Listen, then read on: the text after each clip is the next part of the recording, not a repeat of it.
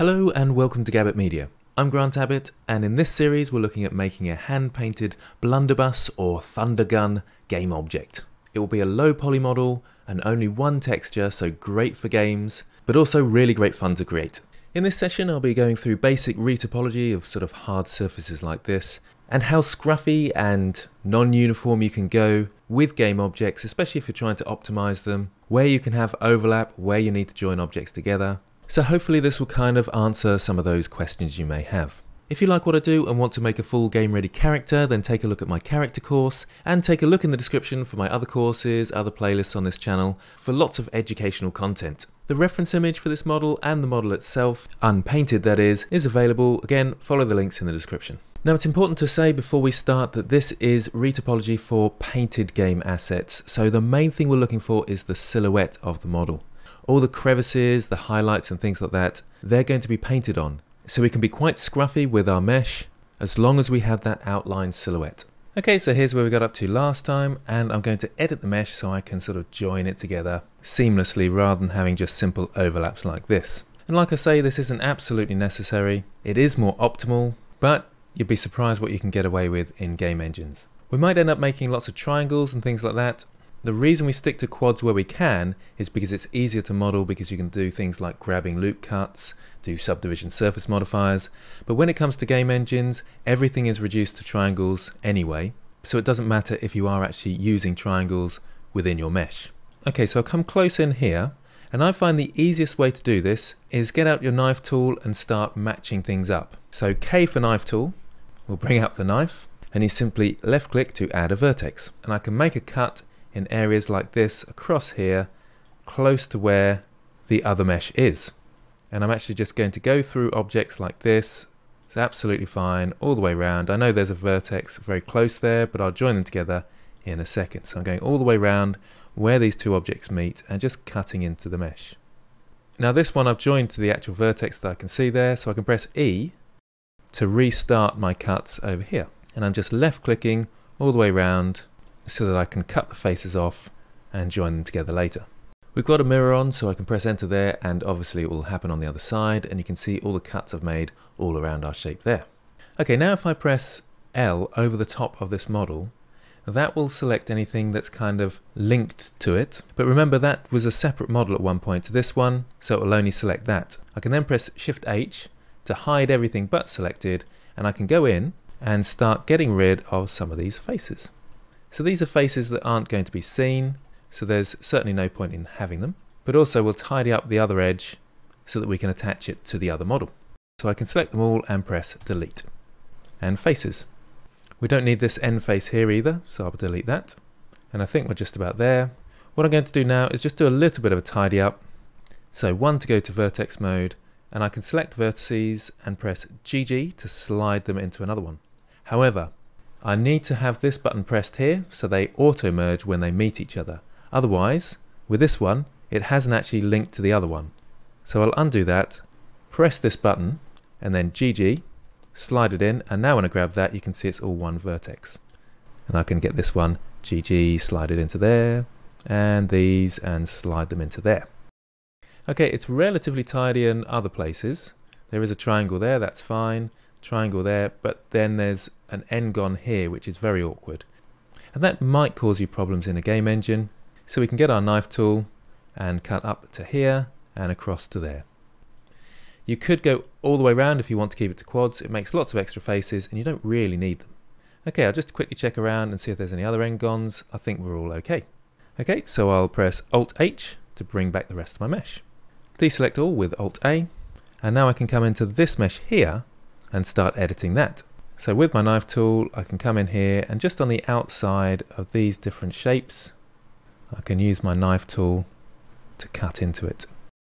Now if you're going a long way round, it might be a good idea to go to a certain point and just press enter to select it and then start again with the knife tool and go around the last bit. Because otherwise if you accidentally right click or something you'll lose all your cuts. Okay, so I've got those cuts in there. And again, I can deselect all, press L over this to select it, and then Shift H to hide everything else. And I can start going in and deleting some faces. So make sure you're in face mode with three and start deleting those extra faces that we don't need. So delete faces, and do we need to tidy anything up? Well, there's some awkward n-gons here. So what I can do is go to vertex mode and select these two and press J to join. And these two J to join, and we've got a quad base mesh there. How about that? this one, GG to edge slide. This one and this one, J to join. That's quite a long, thin triangle. I don't like those much because sometimes in texture painting, that can cause problems, really long thin triangles like that. I'll leave it there for now and see how we get on. But if we needed to, I could always cut down here from here down to there instead. But I'll undo that. So we've got our quad base mesh that everybody loves. In here to here, J to join. And this one's a bit more messy. So what we can do, I think, is put a cut in here and across to here and a join in here. So J to join, and that one will have a triangle, J to join. And this one we can actually GG to edge slide and even them out a little bit more. We could even have a little bit more of a curve going up here if we wanted to. So that comes in slightly, but it's not really necessary. It won't be that noticeable. Okay, let's Alt H and bring back everything else. And now we can see a gap between our models. That's okay is what we're going to do is I'm going to select one of these vertices and I'm going to merge it with the other one. There's a quick way of doing this. You can go up to the top here, choose snapping, and then snap to vertex, just there. Now, I'll just zoom in on this a bit, and then G to grab, and you can move it to the closest one. I've got auto merge on, just there, so they will merge together. So G to grab, merge them together. And I can just go around, slotting them together nicely. Ah, now there's one there that's not fitting together with the other one. So I'm going to need an extra cut in here. So bring up my knife tool, bring that down there, press enter, and then grab that into the other one. Now if you look at this bit, it's not very clean topology and I'm not liking it very much. And now I come to think of it, we don't even need that one there, so I can press GG, slide that across. That's a bit better. Let's have a look at the shape and see if we can do anything with it. I think I'd feel a bit more comfortable if we had a cut from here to here. So I can select both, press J to join, and then into edge mode and dissolve both those edges. So dissolve edges there, Control X is the shortcut for that. And this one actually I can slide into there. So it's a little bit cleaner now. We have got an n-gon here, and I can just sort that out by joining these two.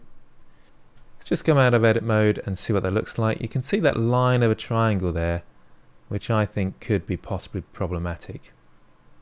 So I think I will dissolve that, Control X and K for knife tool.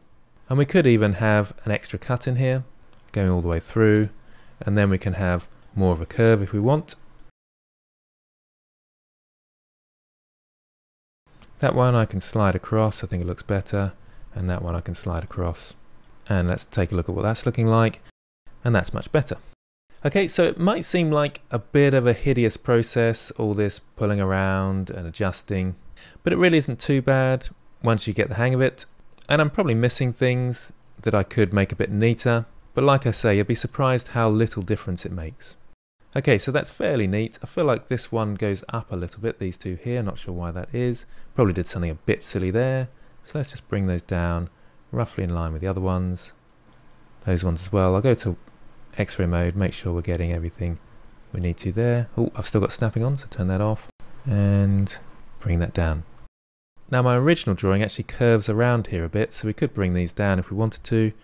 G then Z and have it curved that little bit. Let's see what that looks like. Well, it seems to work, so we can stick with that. Okay, so we've successfully joined probably the most tricky bit together. Now we need to join this bit. So once again, round with the knife tool, and we have got this slight issue here so I'll do this one at the top first, and I'll just come around here like this, and I'll cut it off there. Then I'll just follow it round until the end there. Press L over this, now they're joined together. We're seeing that one as well, but that's absolutely fine. We can then Shift H, hide the rest, and then come in and start cutting it up a bit. So 3 to go to face mode and start deleting some of these faces.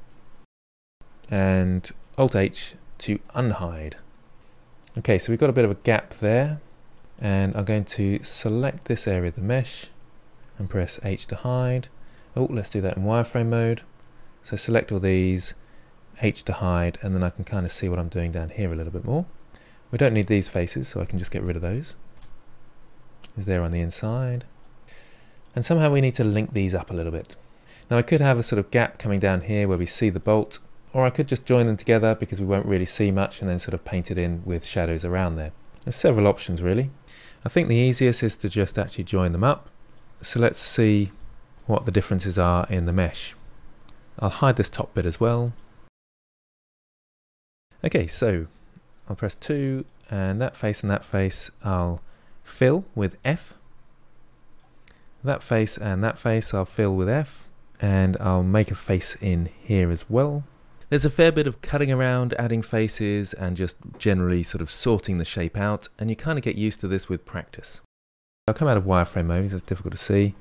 What I'm going to do is cut down here, up to that one, and I think what I'm going to have to do is bring this one back this way, and then have some sort of faces in here, to here, F to fill, and here up to the top here. So they are joined together when they get to that point, but only at that point. So it should be alright, I think. Let's Alt H and bring everything back and see how that's looking. It's a little bit messy around the bottom, which we'll tidy up in a second, but I think that's probably going to work. Okay, this edge here, G then X. Turn off snapping, G then X. So just sliding that back so there's no holes. And we need to cut in here for the bolt. And I'll cut across there because that's where our shape finishes and come down to here. A little bit messy, but we just go into face mode. We can delete some faces, and start tidying things up. I'll come into my shape here, turn snapping on again, pull them into each other, and it's not too bad. Okay, it's a bit messy in here, so I'm going to delete these faces here, and then just link these up. And GG to edge slide there. Bring that one in, that one in. We've got this extra face that we need in here, so this one and this one, F to fill, we've got a face there. Okay, so it might be a little bit scruffy, but it's generally okay. It can be awkward in tight spaces like that, but you kind of just move things around, add things in, and see how you get on. Remember, it's okay to have triangles. You might end up with a bit of a messy mesh that you can kind of tidy up a bit later. So just join these ones up now. Those two, select them both, J to join. This one's the tricky one in there. And we're good. Okay, we've got a bit of distortion just here, as you can probably see as this face goes around there. So we can grab this one, GG, to edge slide. And we can grab these as well, GG to edge slide, and just give them a little bit of room. So GG. So it's not completely flat down there. It comes out, the bottom comes out this way slightly. That surprisingly helps quite a lot when you do that sort of thing. Got a non-manifold face there, so I'll just join these up. It's very scruffy in this bit, but it will work. Just need to come inside the mesh and delete the inside faces that won't be seen. I'll join those two up there. So we haven't got a big n-gon there. Now that might have looked really confusing and it's a bit untidy, but it will work just fine. It doesn't have to be precisely the same as mine, just as long as they're joined together and it still keeps its kind of silhouette like this, because we'll be painting on all the details anyway. Okay, so that's these really awkward shapes linked together. Yes, we've still got some overlap with this bolt here these areas here, but there's very little point in joining them up. They can overlap slightly and it's not going to make a big difference to performance. The extra polygons it would take to join in these small objects, it really just isn't worth it. It's far better to leave them as separate objects. So that's all our shape joined together so we can get ready for texture painting. So once again, thanks for all the support. Thanks to those that watched an advert, donated, or signed up to my Patreon. Questions and thoughts, comment below. Thanks for watching, and I'll see you next time.